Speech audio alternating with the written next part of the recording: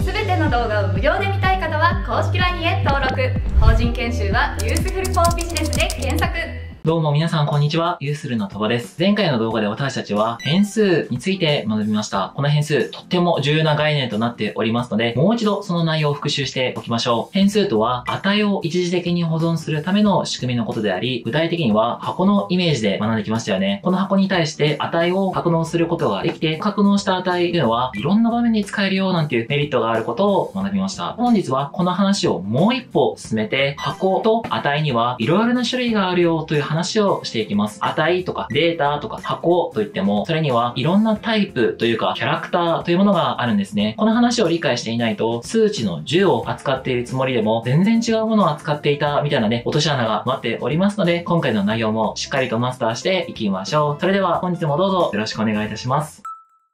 値にはいろいろな種類があるよということを理解していただくために、まず一番最初、クイズを出したいと思います。今から計算式を2つお見せするのですが、その計算式が計算できるかどうかを丸×でお答えいただこうと思います。1問目は、123たすあいう。こちらの計算式は計算できるでしょうか？それともできないでしょうか ?2 問目、あいうたす2023年4月1日。こちらの計算式は足し算できるでしょうか？お答えください。答えを申しますと、どちらも計算することはできません。123とあいうは足し算することはできませんし、IU とこの2023年4月1日は計算することはできないですよね。ここからが重要な話になるのですが、もう一つ質問をしたいと思います。二つの計算式はなぜ計算することができないのでしょうかこの二つの計算式を見たときに頭の中で無意識にこう考えたんじゃないかなと思います。123という値は数値ですよね。そして、あ、い、うというのは文字ですよね。数値と文字は足し算することができない。なので、1問目というのは×にしてくれたと思うんですよね。2問目の全く同じです。2023年4月1日というデータは日付のデータなんですよね。なので、文字と日付は足し算することができない。こんな風に考えてくれたんじゃないかなと思います。値とかデータといっても、いろいろな種類があることがお分かりいただけたんじゃないかなと思います。数値のように計算できるもの、できないもの、日付のように1週間後の値を求めることができるもの、できないもの、はたまた文字のようにデータとデータ同士を連結させることができるもの、できないもの、こういったデータの種類のことをデータ型と言います。新しい言葉が出てきました。た値の種類のことを言うのですが、データ型という言葉を聞くと難しく感じますよね。特に型という言葉がね、難しい印象を抱かせる原因になってるんじゃないかなと思うんですが、これについてはポケモンのタイプと同じだと思ってください。ポケモンにはですね、いろいろなタイプがあると思います。炎タイプとか草タイプとか水タイプとか電気タイプとか、これとデータ型の話、全く同じです。値やデータといっても、数値タイプとか文字タイプとか日付タイプとか、いろいろなタイプがあるというわけなんですね。これから私がデータ型という言葉を使った時時には、値のタイプの話をしているんだなと思っていただければ OK です。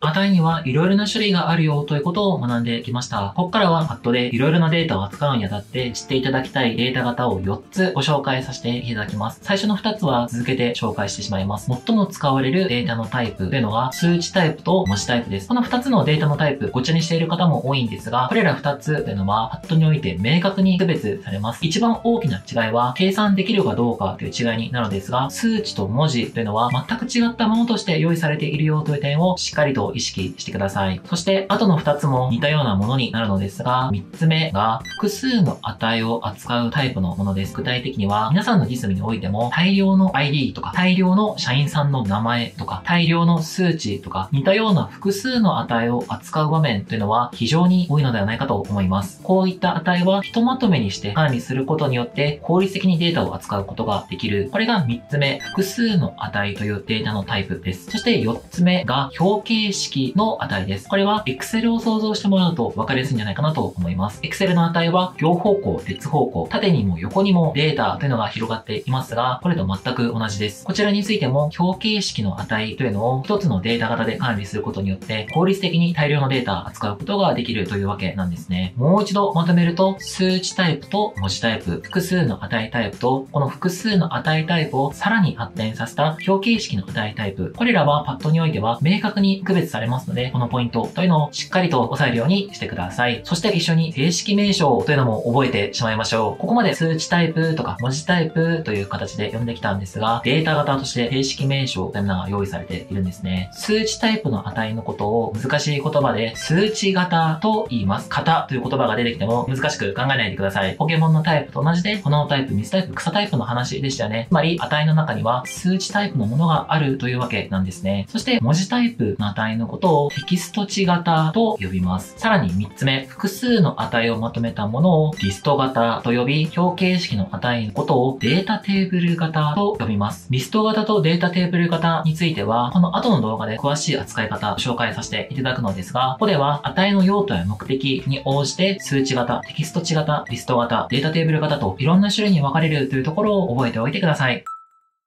ここからはデータ型が実務において一番使われる場面をご紹介したいと思います。実は変数において使われる仕組みとなっております。こちらもスライドで確認をしていきましょう。もう一度その内容を復習をすると、値を一時的に保存するための仕組みのことを言いました。具体的にはこのような箱を用意して、この箱に対して値というのをその中に格納することができましたよね。そしてここからが注意点になるのですが、変数という箱に格納した値によって変数自体の型も指定することができちゃうんですね。もっと具体的にならば、10という数値型の値を箱に格納しましたよね。そうすると、変数の箱自体の型も数値型として自動的に決定されます。つまり、数値の値を格納すれば数値型、文字の値を格納すればテキスト値型みたいに変数の箱についてもデータ型を指定することができちゃうんですね。では、なぜこんなことが必要なのか、一番大きなメリットは、間違った値同士の計算を防ぐためです。例えば、10という数値が格納された変数と、あ、い、うという文字列を足し算したとしましょう。そうすると、数値と文字というのは足し算することができないので、この計算については間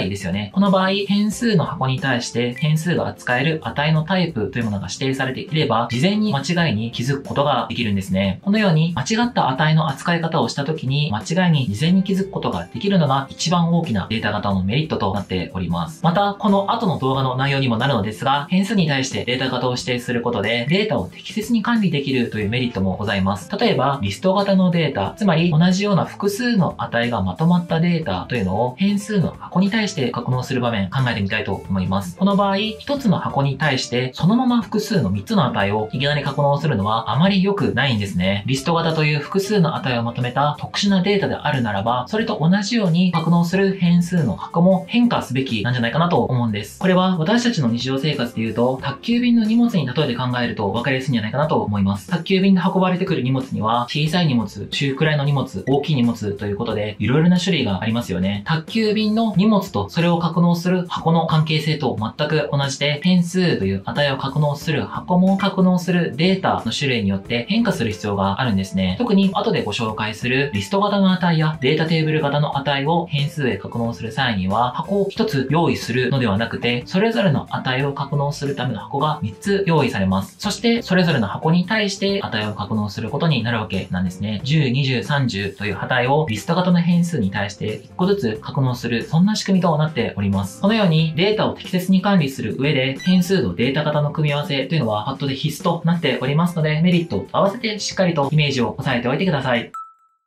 最後に、ここまでの内容を実際にフローを作りながら確認していきましょう。題材としましては、変数の箱を用意して、そこに対して値を代入し、変数のデータ型が何になるのかというのを皆さんと一緒に確認していきたいと思います。代入する値としましては、こんにちはというテキスト値型の値というのを変数という箱に対して代入していきます。そしてテキスト値型の値を箱に対して代入しますので、変数のデータ型はもちろんテキスト値型になります。この一連の流れを確認していきます。こちらの題材の目的としましては、変数に対して値を代入すると、変数の型が自動的に決定される、このイメージというのを掴んでいただこうと思っております。ここまでの内容、実際にフローを作りながら確認していきましょう。パッドの画面にやってまいりました。変数に対してテキスト値型の値を代入し、どんな風にね、型が決定されるのか確認していきましょう。変数アクショングループの中から変数の設定、こちらを使って変数の作成始めていきましょう。こちらのアクションを真ん中に移します。今回代入する値としましては、こんんにちはというね、文字列の値を代入したいと思います。ここまでできましたら、右下の保存ボタンを押します。F5 キー実行にかけてみると、何も起こっていないように見えるのですが、注目していただきたいのが、右下、フロー変数という部分です。こちらは名前の通り、フロー内で使われている変数のことを意味します。つまり、こちらの中で使った変数というのが、フロー変数の項目に表示されるというわけなんですね。先ほど作成した newBar という変数がございますので、ダブルクリックしてみます。そうすると、こちらの部分にテキスト値と書かれていますよね。まさにこれが変数に対して指定されているデータ型となっているわけなんです。今回は、こんにちはというテキスト値型の値を代入しましたので、変数 newBar のデータ型もテキスト値型になったというわけなんですね。では、もう一つ確かめたいと思います。この newBar という変数に対して10という数値を代入するとどうなるでしょうかもう一度 F4 キーで実行して確かめてみましょう。newBar という変数の中身確認してみると、今度は数値と書かれていますよね。つまり今回は変数に対して数値の値を代入しましたので、変数の型が数値型になったというわけなんですね。こんな風に変数へ代入される値の種類によって、その変数の型が自動的に決定されますので、こちらのイメージというのをしっかりと押さえておいてください。皆さんお疲れ様でした。データの種類となるデータ型について学びました。特にポイントとしては、変数に対してデータ型を指定することで、変数が扱えるデータの種類が決まるんだよという点を押さえておきましょう。また、本日詳しくご紹介できなかったリストとデータテーブルについては、この後の動画で詳しくその操作方法をご紹介させていただきますので、こちらも合わせて理解を深めていきましょう。ではまた次回の動画でお会いできることを楽しみにしております。See you next time. バイバーイ